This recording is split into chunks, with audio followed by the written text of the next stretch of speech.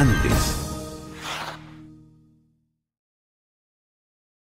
El pasado domingo, el internacional ecuatoriano Miller Bolaños sufrió una doble fractura en la mandíbula al chocar con el defensa de Internacional William a los pocos minutos de iniciado el clásico de Porto Alegre y jugó todo el primer tiempo con la dolencia. El médico del gremio, Paulo Rabaldo, informó sobre el estado del jugador luego de tres días del suceso.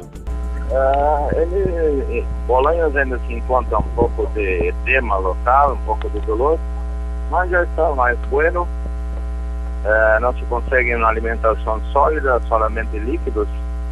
Então estamos preparando-nos para reconstruir a mandíbula, no momento que há dois traços de fratura na mandíbula, então se vai se colocar uma placa com parafusos para re, reconstruir a la mandíbula. Que vai acontecer entre uh, hoje ou amanhã, dependendo do, do estado de, de edema. Rabaldo también detalló cuál será el procedimiento quirúrgico al que será sometido el seleccionado ecuatoriano. É uma, uma plaquita com uh, seis parafusos que vão fixar o osso.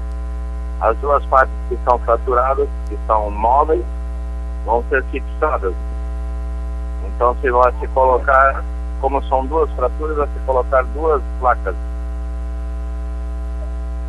para fixação, que se chama de osteossíntese. La doble fractura que padece Miller le impedirá estar en los partidos que su selección enfrentará a Paraguay el 24 de marzo en Quito y Colombia el 29 en Barranquilla por la quinta y sexta fecha de las jornadas eliminatorias suramericanas al Campeonato Mundial Rusia 2018.